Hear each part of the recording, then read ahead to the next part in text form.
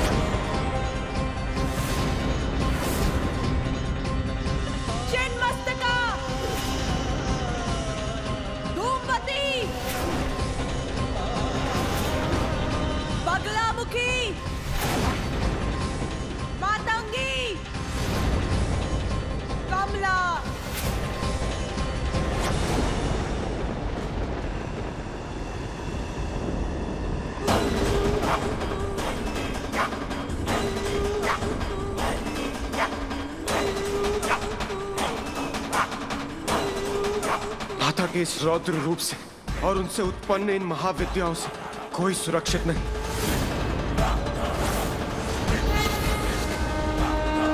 मैं केवल कैलाशी नहीं, समस्त ब्रह्मांड में जहाँ जहाँ भी देव है, उनका भी नाश कर दूँगी। संहार करूँगी मैं, संहार।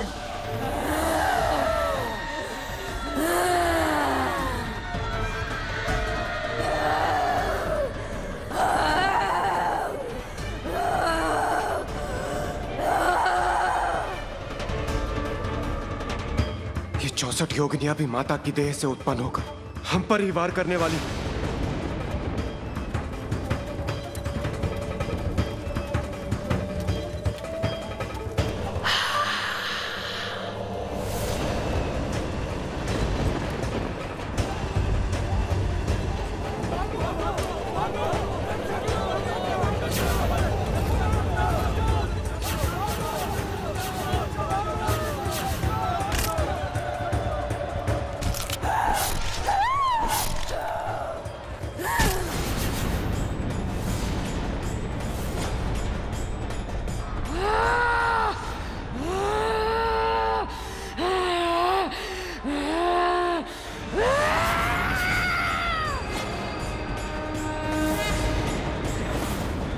होता है जैसे माता से उत्पन्न ये चौसठ योगिनियाँ और दसों महाविद्याएँ। अब हम देवताओं का विनाश करने के लिए हमारी ओर बढ़ रही हैं। अवश्य दंड दूँगी मैं तुम सभी को तुम्हारे इस कृत्य के लिए। मेरा भीषणकारी क्रोध सभी देवताओं का अस्तित्व मिटा देगा। मेरी क्रोध क्रोधाग्नि भस्म कर देगी तुम्हें। कोई शेष नहीं रहेगा। सबका संहार करूँगी मैं।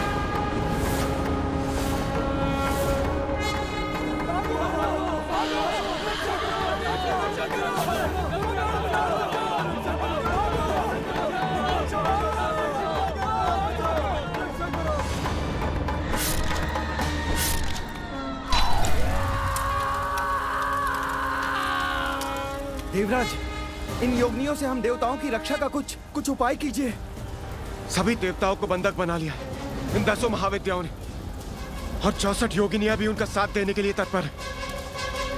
मुझे ज्ञात नहीं अब कैसा विनाश होगा। ज्वालामुखी के समान है। माता आदि शक्ति का रोष। जब तक शांत है तब तक ये अपनी संगारक शक्ति को अपने भीतर समाये रखता है। और हाँ जब फटता है तो चारों दिशाओं में संघार करता है। कहाँ जाने का प्रयास कर रहे थे?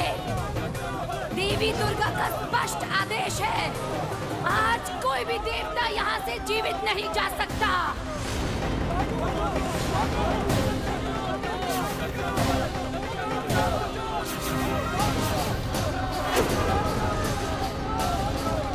इस प्रकार तो देवी पार्वती सबका संहार करेंगी।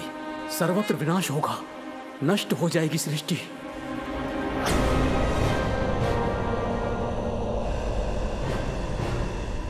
आप सभी देवगण फैल जाइए। एक दूसरे से दूर रहिए। और अपनी रक्षा के लिए अपने अस्त्रों का प्रयोग कीजिए।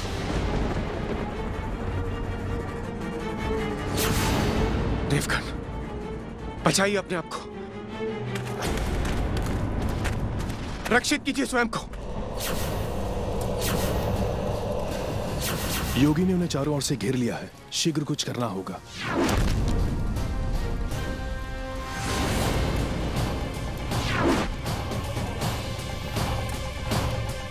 आश्चर्य!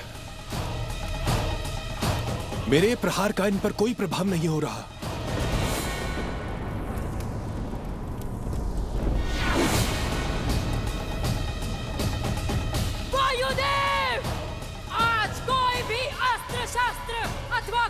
तुम्हारी दिव्य शक्तियाँ।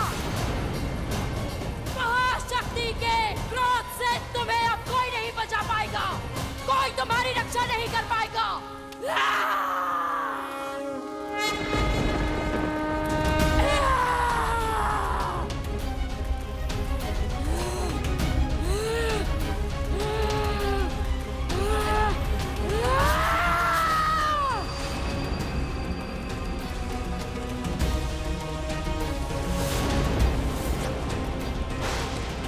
हमें मुक्त कर दीजिए। कर दीजिए। हमें मोड़ कर दीजिए छोड़ दीजिए हमें। छोड़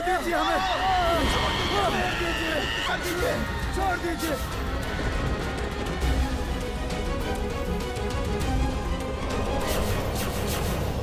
अग्निदेव कहाँ भागने का प्रयास कर रहे हो? रुको और अपना दंड स्वीकार करो। मुझे पकड़ने की चेष्टा मत कीजिए। मेरी अग्नि सुरक्षा कवच को भेदने का प्रयास किया तो आप भस्म हो जाएँगी।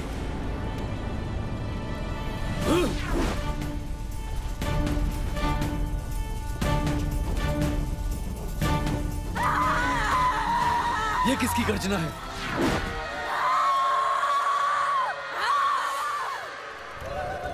देवी तारा, अपने विकराल रूप में। अग्निदेव मुझसे अपना बचाव कैसे करेंगे आप?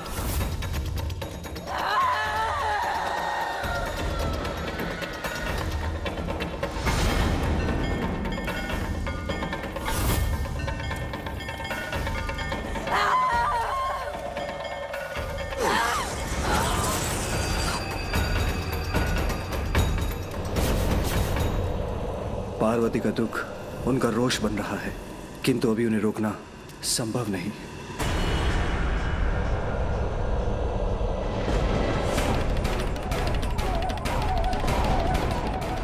देवी भुवनेश्वरी और देवी कमला अपने हाथों से जिस प्रचंड ऊर्जा को उत्पन्न कर रही है उससे तो यहाँ उपस्थित कोई देवता नहीं बचेगा।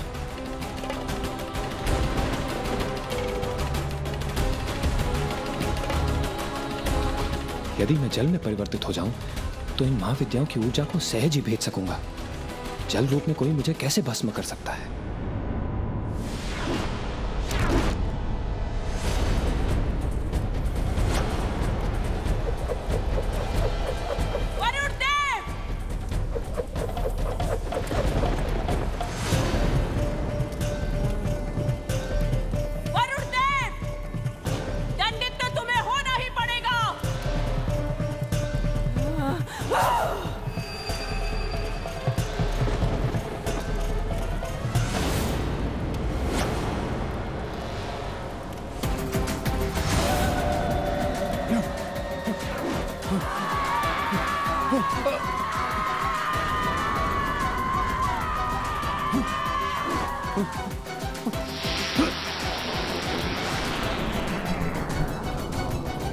जब हूँ मैं, मेरे पास से दूर रहने में ही आपकी भलाई है।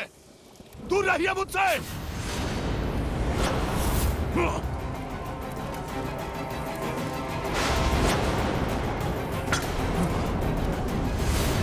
इस प्रकार तो ये योगिनियाँ मुझे कहीं नहीं जाने देंगी। देवी धूमवती वृद्धा होने के कारण दुर्बल प्रतीत होती है। यदि मैं तीव्र गति से भाग गया तो ये मुझे कदापि नहीं पकड़ सकेंगी। यमराज कहाँ जा रहे हो मुझे शक्तिहीन समझने की भूल मत करो यमराज अब जाओ देवी दुर्गा के उदर में जाके समा जाओ इस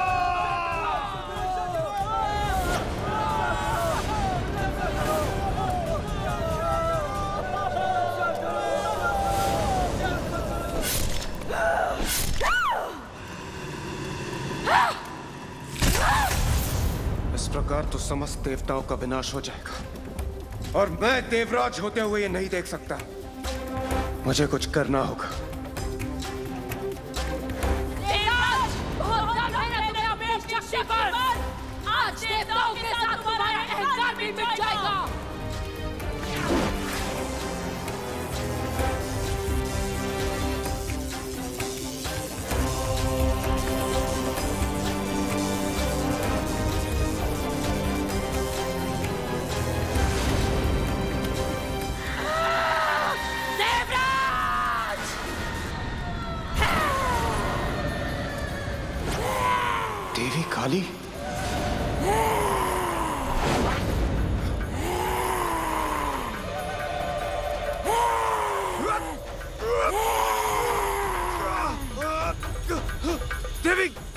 देवी, क्षमा।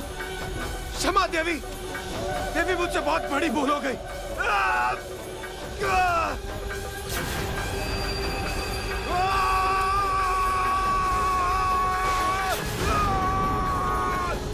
इंद्रदेव! नहीं, ये नहीं हो सकता।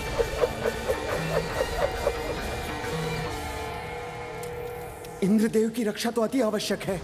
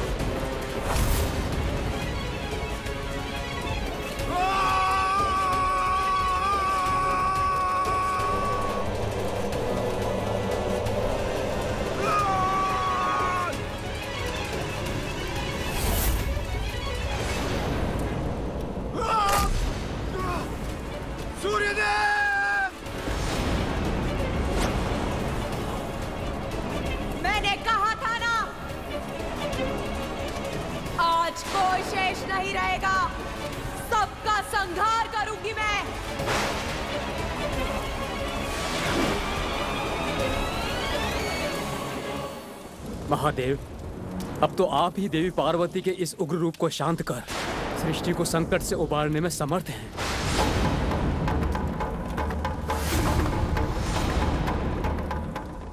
महादेव शीघ्र कुछ कीजिए। अन्यथा देवी पार्वती सर्वत्र प्रलय की स्थिति उत्पन्न कर देंगी। मैं तो प्रतीक्षा ही कर रहा था कि देवी पार्वती के भीतर का रोष बाहर आ जाएगा तो वह स्वतः शांत हो जाएँगी। किंतु उसके विपरीत उनका रोष तो बढ़ता ही जा रहा है। उनकी इस विनाश लीला को शांत कर, उन्हें रोकना ही होगा। मेरे पुत्र का वध त्रिशूल से किया था ना आपने?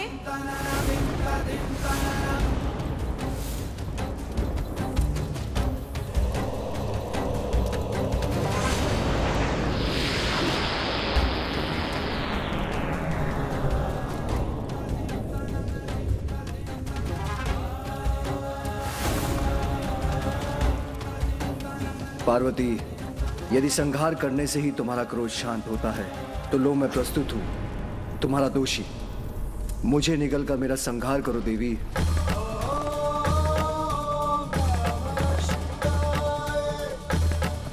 नहीं ये कैसे कर सकती हूँ मैं?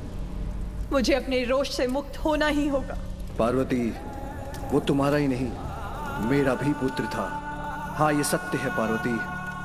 कि मेरे हाथ तो बहुत बड़ा अनर्थ हो गया है। पिता के हाथ तो पुत्र का हाथ थाम कर उसे संसार में चलना सिखाते हैं। उसका मार्गदर्शन करते हैं। और यहाँ मेरे ही हाथों मेरे पुत्र का वध हो गया। किंतु मैं करता भी क्या? उसने विवश कर दिया था मुझे। उमा, मैंने तो पहचाना उसे। किंतु वास्तविकता तो यह है कि अविद्या के कारण वो मुझे अपने पिता को नहीं पहचान सका। नहीं जान सका कि चौरासी लाख योनियों के समस्त जीवों का पिता मैं ही हूँ। सबके भीतर और बाहर सर्वत्र विराजमान हूँ। अज्ञानतावश कुछ भी समझाने का अवसर नहीं दिया उसने।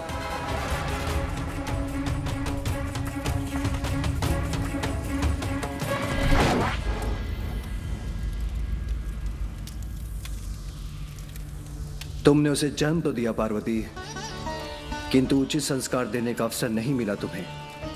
इसलिए उससे अत्यधिक अहंकार था, जिसे मिटाना अनिवार्य था। जैसे ब्रह्मदेव के शीश के साथ उनके अहंकार को भंग करना और प्रजापति तक्ष में समाये, अहंकार का नाश आवश्यक था।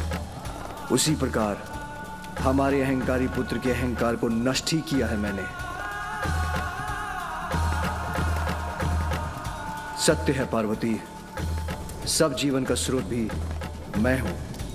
किंतु जीवन प्राप्त करने के बाद सभी अपनी इच्छा अनुसार अपने कर्मों का चुनाव करने के लिए स्वतंत्र हैं। हमारे पुत्र ने जिन कर्मों का चुनाव किया, उसका परिणाम यही था। वही भुगतना पड़ा उसे। स्वामी, वो ब्रह्मदेव या प्रजापति दक्ष नहीं था। एक अपरिपक्व बालक मात्र था, जिसका जन्म तक कुछ ही समय पूर्व हुआ था। कुछ ज्ञान प्राप्त करने का अवसर ही कहाँ प्राप्त हुआ उसे?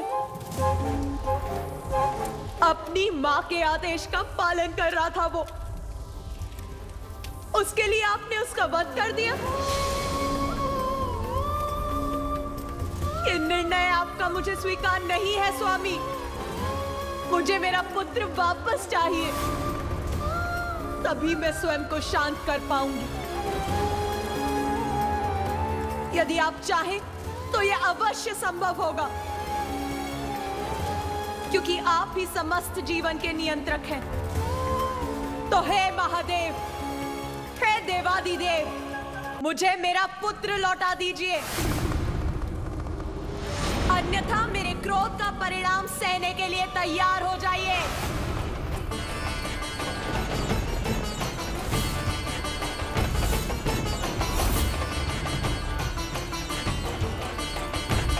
अपने पुत्र से वंचित होकर मैं जीवित नहीं रह सकती। मुझे मेरा पुत्र चाहिए। जीवित करिए मेरे पुत्र को। सर्वत्र व्याप्त हैं आप। आप जो चाहे कर सकते हैं। ही जीवित कीजिए मेरे पुत्र को। क्योंकि जो जीवन नहीं दे सकता, उसको जीवन छीनने का अधिकार भी नहीं है। जीवित कीजिए। अन्यथा मेरी क्रोधाग्नि सारे संसार को भस्म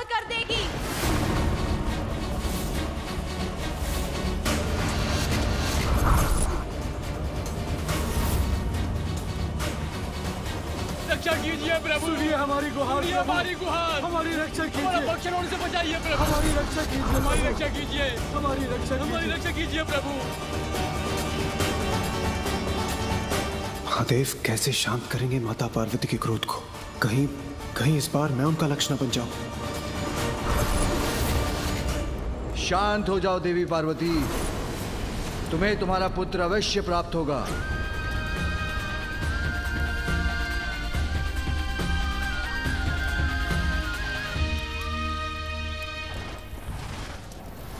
क्या कह रहे हैं Mahadev?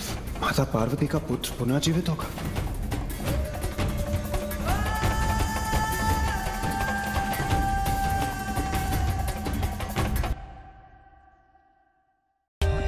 For more update subscribe to our channel click the show links and enjoy watching the videos